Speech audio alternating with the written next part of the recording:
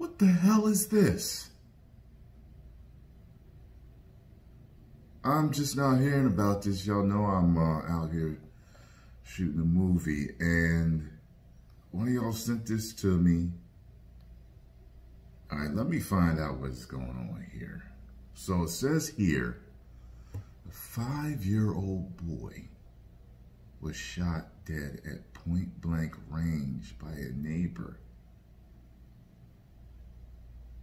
who was 25 years old as he rides his bike in, in his own front yard in front of his two sisters that are eight and seven? Are you serious? All right, let me see this story here. It says here, North Carolina police have charged a neighbor with the murder of a five-year-old boy who was riding his bike in his own yard when he was shot at point blank range on Sunday evening. Darius Sessoms, 25, was taken into custody by Wilson police around 24 hours after he allegedly approached Cannon Hinnant in front of the young boy's father's house at 5.30 p.m. and shot him in the head. What the? Hinnant's seven-year-old and eight-year-old sisters witnessed the killing. Oh my God. Sessoms lived next door to the family and the killing is not believed to be random. Neighbors claim he had dinner with the Hinnants. He had dinner with Hinnant's father, Austin, on Friday and had been over the house earlier on Sunday. Was he just fucking mentally disturbed? Is this payback? Is there some something going on that we don't know about? The motive for killing for the killing is still under investigation. But a GoFundMe has been established by a family member. Says the young boy rode into Sessom's yard. He rode into he's a cute kid too, man. Sunday, August 19th, a uh, sweet soul named Cannon Hinnant was taken from this world over a senseless act. what the hell is going on here? The young boy was set to start kindergarten on Monday and had just learned to write his name. What the hell is going on here?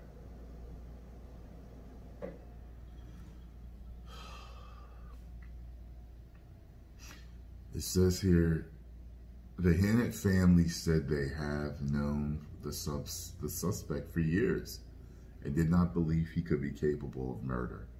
He used to play together. We used to play together, and I never thought he'd kill someone. A mother now has to lay her son to rest.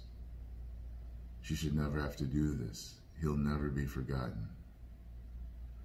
Police were called to the scene on Archers Road at around 5.30 p.m. Sunday where Hinnant was found with a gunshot wound. Emergency responders tried to save him and he was taken to the Wilson Medical Center but later died. Sessoms was immediately identified as the suspect. He fled the scene in a black 2019 Toyota Corolla and was later located by authorities. Police charged him with first degree murder on Monday. And he is being held with no bond. Of course not. He made his first 10 minute court appearance virtually.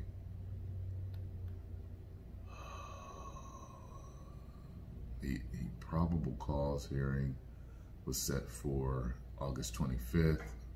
According to the Wilson Times, Sessoms was previously convicted of felony larceny of firearms in Wilson County. What the hell is going on here, man?